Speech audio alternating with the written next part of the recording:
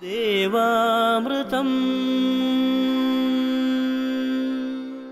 ദേവാമൃതത്തിൽ ഇനി ജ്യോതിഷ പങ്ക്തി ദേവാമൃതം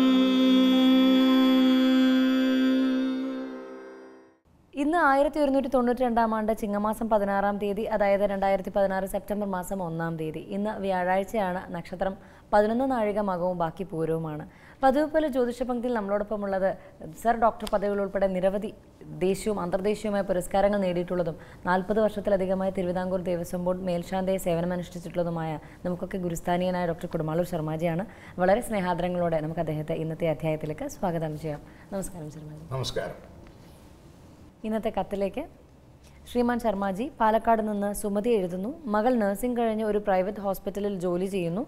ശമ്പളം തീരെ കുറവാണ്. മകൾ വിദേശ ജോലിക്ക് ശ്രമിക്കുന്നു. യു കെയിലാണ് താല്പര്യം തടസ്സങ്ങൾ ഉണ്ടാകുന്നു. മകൾക്ക് ഗവൺമെന്റ് ജോലിക്കോ വിദേശ ജോലിക്കോ സാധ്യതയുണ്ടോ? തടസ്സങ്ങൾ മാറുവാൻ എന്ത് ചെയ്യണം? നക്ഷത്രം ഗ്രഹനില ചേർക്കുന്നു.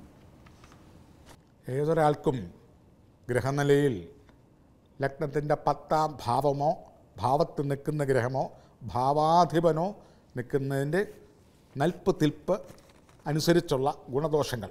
അതായത് മുപ്പത് അക്ഷത്തിന് മേൽ അഷ്ടവർഗ ബലത്തോടു കൂടി പത്താം ഭാവത്തിൽ ഗ്രഹങ്ങൾ നിന്നാൽ അതിനെ അഷ്ടവർഗ ബലം അതായത് ആ ഗ്രഹത്തിന് ബലം ഉണ്ടാവും. ആ തൊഴിൽ ഏത് തൊഴിലിൽ ഏർപ്പെട്ടാലും അതിൽ ഉന്നത സ്ഥാനം ലഭിക്കുകയും ജനം അംഗീകരിക്കുകയും അതിലൂടെ സാമ്പത്തിക ലബ്ധി ഉണ്ടാവുകയും ആ സാമ്പത്തികം കൊണ്ട് അവരുടെയും സന്താന പരമ്പരകളുടെയും ഭൗതിക തലത്തിൽ ജീവിതം മുന്നോട്ട് പോവുകയും ഉദ്ദിഷ്ട കാര്യങ്ങളെല്ലാം ഏറെക്കുറെ ആ തൊഴിൽ രംഗം കൊണ്ട് ഉണ്ടാകുകയും ചെയ്യും.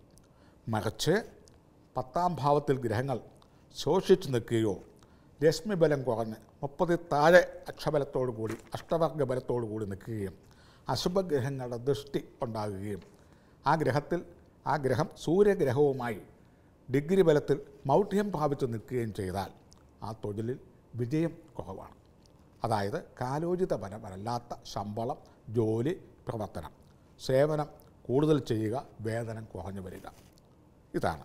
ഈ രാശിയിൽ പത്താം സ്ഥാനത്ത് ചൊവ്വ പതിനേഴ് ഡിഗ്രിയിൽ മൗഢ്യം പ്രാപിച്ചു നിൽക്കുന്നു. അതായത് ചൊവ്വാഗ്രഹം സൂര്യനുമായിട്ട് പതിനേഴാമത്തെ ഡിഗ്രിയിൽ നിന്നാൽ ആ ചൊവ്വാഗ്രഹം മൗഢ്യമായി ശക്തിയില്ലാതെ വരുന്നു.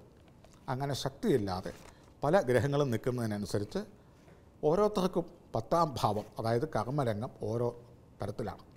ഇവിടെ ചൊവ്വ നിൽക്കുന്നത് കൊണ്ട് ഈ മകൾ നേഴ്സിന് ഏതെങ്കിലും പ്രൈവറ്റ് സ്ഥാപനങ്ങളിൽ ജോലി കിട്ടുക. അല്ലെങ്കിൽ ഇവർ ചെല്ലുന്നിടത്ത് അല്ലെങ്കിൽ എണ്ണയുടെ വില പോയി അല്ലെങ്കിൽ പെട്രോളിന്റെ വില പോയി അല്ല സ്വർണത്തിന്റെ വില പോയി അല്ലെങ്കിൽ പ്രവർത്തനിക്ക് നഷ്ടമാണ് ആശുപത്രിക്ക് നഷ്ടത്തിലാണ് നേഴ്സുമാരെയൊക്കെ പിരിച്ചുവിടുന്നു. ഇനിയിപ്പോൾ ഉള്ളത് പിന്നെ ഡെയിലി വേജസ് ആയിട്ടുള്ളതേ ഉള്ളൂ. അത് ഡെയിലി അഞ്ഞൂറ് രൂപ അല്ലെങ്കിൽ നാനൂറ് രൂപ ജീവിക്കാൻ കഷ്ടിച്ചൊക്കെ തികയുക. നമുക്ക് നാട്ടിലോട്ട് അയച്ചു കൊടുക്കാനൊന്നും പറ്റാത്തൊരവസ്ഥയിലേക്ക് വരിക. അതായത് കർമ്മസ്ഥാനം മൗഢ്യം പ്രാപിച്ചവർ ചെല്ലുന്നിടത്ത് ഏതെങ്കിലും തരത്തിലുള്ള കുഴപ്പങ്ങൾ വന്നു വരും. അതേസമയം കർമ്മസ്ഥാനാധിപൻ ആയ ഗ്രഹം ഉച്ചബലം പ്രാപിച്ച് നിൽക്കുന്നതാണ്. ഇനി ക്ഷീണമായ ഒരു കമ്പനിയിലോ പ്രസ്ഥാനത്തിലോ ചെന്നിരുന്നാൽ പോലും അവിടെ നന്നാവും. അതുകൊണ്ട് ഈ നേഴ്സ് ഇപ്പം നിൽക്കുന്നിടത്ത് ശമ്പളം വളരെ കുറവ്. ശരിയാണ്. ഇനി അഥവാ ശമ്പളം കൂടുന്ന സ്ഥലത്തേക്ക് ഇനി പോയി കഴിഞ്ഞാൽ തന്നെയും. അവിടെ ചെല്ലുമ്പോൾ ആശുപത്രി നഷ്ടം. അല്ലെ അവിടെ ആളുകളെ പിരിച്ചു വിടുന്നു അല്ലെങ്കിൽ ഇരട്ടി ജോലി ചെയ്യുക പകുതി ശമ്പളം. ഇങ്ങനെയുള്ള കുഴപ്പങ്ങളൊക്കെ വന്നുകൊണ്ടിരിക്കും. അതുപോലെ സഹപ്രവർത്തകരുടെ നീരസം ഉണ്ടാവും. കർമ്മരംഗം അശുഭകരമായി അല്ലെ മൗഢ്യം പ്രാപിച്ച് നിൽക്കുന്ന തൊഴിൽ ചെയ്യുന്നവർക്ക്. അത് ഏത് ഡിപ്പാർട്ട്മെന്റ് ആയിരുന്നാലും ശരി ഏത് തൊഴിലായിരുന്നാലും ശരി അത് മൗഢ്യതയുണ്ടെങ്കിൽ ആ സഹപ്രവർത്തകർക്ക് നീരസവും യൂണിയൻ മുതലായവർക്ക് തലവേദനയും അധികാരികൾക്ക് അപ്രീതിയും ഉണ്ടാകുകയും ആ തൊഴിലിൽ കഷ്ടനഷ്ടങ്ങൾ വരികയും ചെയ്യും. ഇവിടെ അപ്രകാരമാണ്. ആയതിനാൽ ചൊവ്വാഴ്ച ദിവസം ഉപവസിച്ച് പ്രാർത്ഥിച്ച് മുന്നോട്ട് പോവുക. അതുപോലെ ചെമ്പവിഴം എന്ന രത്നം ധരിക്കുന്നത് നല്ലതാണ്. ഇതൊക്കെ ചെയ്യുമ്പോൾ ഒരു നാൽപ്പത് ശതമാനം കാഠിന്യം മാറും.